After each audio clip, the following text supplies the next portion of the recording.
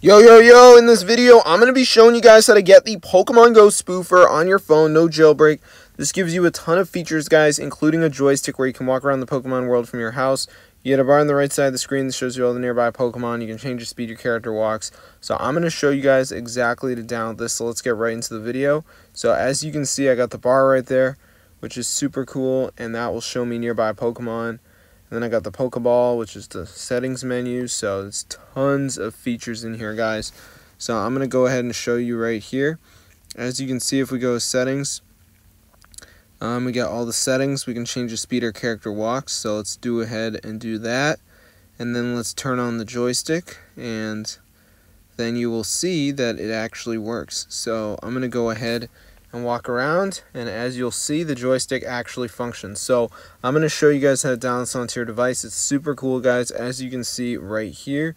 So yeah this is pretty epic so let's get right into the video. There's also the long press you just press on the nearby Pokemon and it should take you there. So yeah this is pretty cool as you can see. So let's get right into the video and I'm going to show you guys how to download this. There's also favorites which shows you huge cities which are full of Pokemon, and then you can literally just go ahead and teleport there, guys, which is so cool. As you can see right here, dang, check it out. So I'm going to show you guys how to download this onto your device. So the first step, guys, is to go ahead and go to this website. So let me just show you guys right here. So the website we're going to go to is called pokespoofing.com. So let me just go ahead and type it in. So it's pokespoofing.com.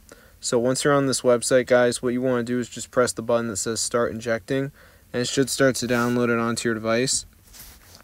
So as you can see, it's loading right here. Um, so anyways, before you can download it, will ask you whether you're using an iPhone or an Android. So just pick the device, press inject, and now we're just going to wait for it to load here, as you can see. So I'm just going to give it a second. All right. So yeah, it's usually pretty fast to download.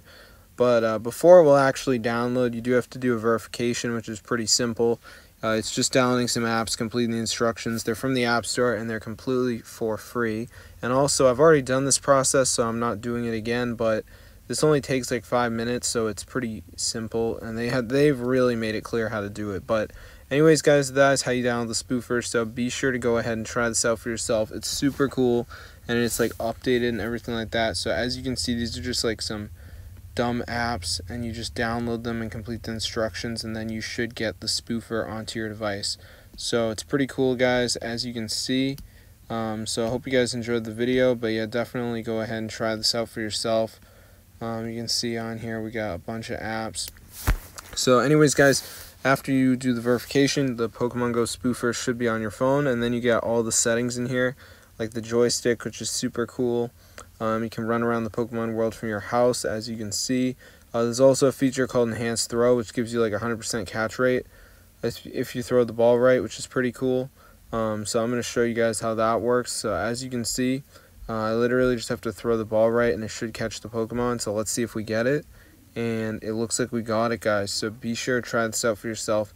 It's super cool. And this is like totally updated and everything. So I hope you guys enjoyed the video, so definitely go ahead and try it out for yourself. This is super cool. I mean, look at this. All the settings are here for you guys.